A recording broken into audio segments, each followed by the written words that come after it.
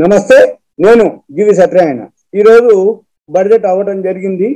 బడ్జెట్లో కొన్ని సెక్టార్లకి కొన్ని కొన్ని స్క్రిప్ట్స్కి కొన్నిటికి బెనిఫిట్ రావడం జరిగింది. అవి ఏంటి అనేది నేను మీకు ఒకసారి ఎక్స్ప్లెయిన్ చేస్తా. అదేంటిది అంటే కంకవర్ కంటైనర్ కార్పొరేషన్ లిమిటెడ్. అది మన న్యూ జనరేషన్ నాలుగు వందల రైళ్ళని ట్రైన్స్ని వందే భారత్ పేరుతోటి అనౌన్స్ చేయడం జరిగింది. దాంట్లో బెనిఫిట్ పొందేది ఒకటి కంకోర్ కంటైనర్ కార్పొరేషన్ లిమిటెడ్ అంటే హండ్రెడ్ కార్గో టెర్మినల్స్ని ఓపెన్ చేస్తున్నారు. ఈ హండ్రెడ్ కార్గో టెర్మినల్స్ ఏంటంటే ట్రాన్స్పోర్ట్ కార్గో అందుకని కంకోర్కి బెనిఫిట్ అవుతుంది. ఇది ఒకటి. తర్వాత విబిఎల్ వరుణ్ బెవరేజెస్ ఇది ఎఫ్ఎంసీజీలో ఒక స్క్రిప్ట్ ఇది కూడా బెనిఫిట్ పొందింది బడ్జెట్లో. ఇవన్నీ ఆల్రెడీ మీకు చూపించేయని చెప్పేయని కూడా ఆల్రెడీ బడ్జెట్లో ఈరోజు ఇంప్లిమెంటేషన్ అనటంతో ఆటోమేటిక్గా పెరగడం జరిగింది పెరుగుతూ ఉన్నాయి. కానీ మీరు ఇప్పుడే కొన్నా ఒకటే కొనకపోయినా లేకపోయినా మీకు మార్చిలో ఈ ఫిబ్రవరి మార్చి ఏదైతే ఉందో బడ్జెట్ ఇంప్లిమెంటేషన్ ఇప్పుడు ఉండదు. ఒక రెండు రోజుల వరకు పెరిగి మళ్ళీ పడిపోతుంది. కానీ ఈ బడ్జెట్ యొక్క ఏదైతే ఉన్నదో అది న్యూ ఫైనాన్షియల్ ఇయర్ నుంచి అమల్లోకి వస్తుంది. అంటే ఏప్రిల్ ఫస్ట్కి అమల్లోకి వస్తుంది. ఏప్రిల్ ఫస్ట్కి ఎప్పుడైతే అమల్లోకి వస్తుందో మరలా మధ్యలో మనకి మార్చిలో మార్కెట్కు పడ్డప్పుడు ఇవి కూడా పడటం జరుగుతుంది ఫిబ్రవరి మార్చిలో. అంటే ఒక రెండు రోజులు మంచిగుండి తర్వాత కొంచెం మార్కెట్ కరెక్షన్ రాగానే ఈ స్క్రిప్ట్స్ కూడా పడటం జరుగుతుంది. పడ్డప్పుడు మనం ఏం చేయాలి? మార్చిలో వీలైతే చూసుకొని ఎంటర్ అయితే ఏప్రిల్ నుంచి అమల్లోకి వస్తున్నాయి కాబట్టి బడ్జెట్ యొక్క ఏదైతే ఉందో అవన్నీ కూడా బడ్జెట్వి ఏప్రిల్ ఫస్ట్ నుంచి అమల్లోకి వస్తాయి న్యూ ఫైనాన్షియల్ ఇయర్ అంటే ఇరవై రెండు ఇరవై మూడుకి సంబంధించినటువంటి ఏదైతే బడ్జెట్ ఉందో అవి అమల్లోకి వస్తాయి కాబట్టి అప్పటికి మనం ఇవి అబ్జర్వ్ చేసుకొని మనం ఎంటర్ అవ్వాల్సి ఉంటుంది. ఇప్పుడు మీకు ఇన్ఫర్మేషన్ ఏంటి అంటే ఒక ఏడు కంపెనీలు ఇప్పుడు మీకు చెప్పడం జరుగుతుంది. ఒక్కొక్క సెక్టార్లో ఒక్కొక్క సంబంధించింది. ఇది ఎఫ్ఎంసీజీకి సంబంధించింది వరుణ్ బ్యావరేజెస్ ఇది తొమ్మిది వందల పదిహేడు డెబ్బైలో ఇప్పుడు ఉంది మనకి కంకోర్ వచ్చి కంటైనర్ కార్పొరేషన్ అంటాము. అది వచ్చి ఆరు వందల యాభై ఆరు పావలాలో ఉంది. తర్వాత నెక్స్ట్ వచ్చి టాటా స్టీల్.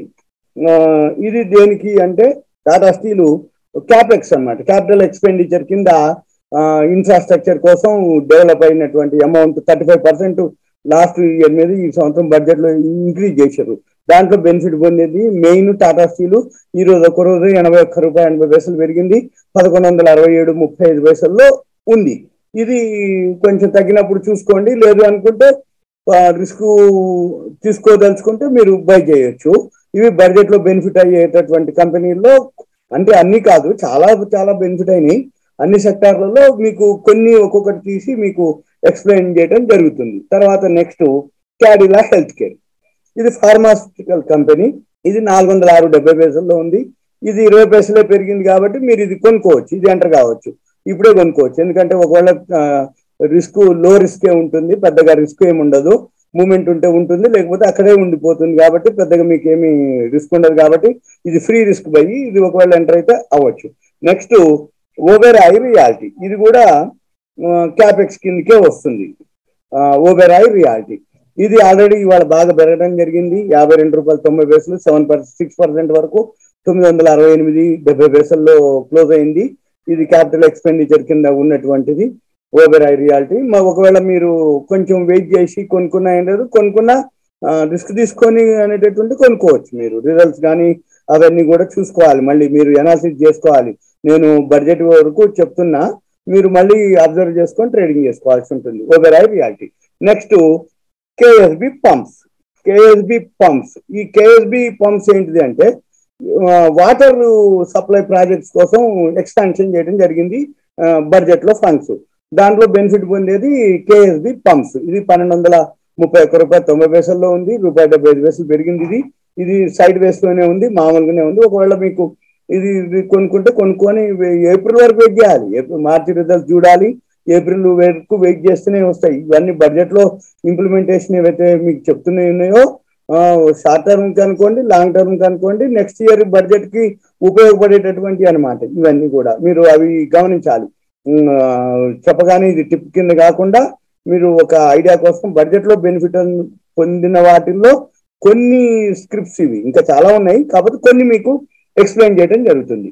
రెండు నెల తర్వాత టాటా పవర్ ఈ టాటా పవర్ ఏంటిది అంటే టాటా గ్రూపు ఇది సోలార్ సెక్టార్లో పిఎల్ఐ స్కీమ్ కింద బెనిఫిట్ పొందుతున్నటువంటిది. ఈ రోజు ఆల్రెడీ రెండు వందల నలభై తొమ్మిది ఎనభై ఐదు పైసలు ఉంది. మూడు రూపాయల ఎనభై పైసలు పెరగడం జరిగింది. వన్ అండ్ హాఫ్ పర్సెంట్ ఇది Tata power Tata group solar sector production linked incentive scheme కింద దీనికి బెనిఫిట్ పొందుతుంది అనమాట ఇవి ఒక ఏడు కంపెనీలు ఇంకా చాలా చాలా ఉన్నాయి. మళ్ళీ నేను ఇంకొక వీడియో తోటి మీకు ఇంకొక యూట్యూబ్లో మీకు నేను మరలా ఇంకొన్ని కంపెనీలు నేను మీకు ఎక్స్ప్లెయిన్ చేస్తాను. ఇది మీకు ఒక అవేర్నెస్ కోసం ఒక ఐడియా కోసం ఎడ్యుకేషన్ పర్పస్ నాలెడ్జ్ పర్పస్ బడ్జెట్లో ఏవైతే సెక్టార్లు బెనిఫిట్ పొందిందో అంటే రైల్వేకి కార్గోకి మన తర్వాత ఎఫ్ఎంసీజీకి క్యాపిటల్ ఎక్స్పెండిచర్ కింద ఫార్మా కింద వాటర్ సప్లై ప్రాజెక్ట్ కింద సోలార్ సెక్టార్ కింద ఇవన్నిటి కింద చాలా చాలా సెక్టార్లు అన్నిట్లో బెనిఫిట్ వచ్చినవి ఉన్నాయి. ఇవి కొన్ని అన్నమాట. ఇవి మీకు ఎడ్యుకేషన్ పర్పస్. ఓకే. హెచ్ఎంటీ ప్రేక్షకులకు ధన్యవాదాలు. నేను ఇంకొక వీడియోతో కలుస్తాను థ్యాంక్ యూ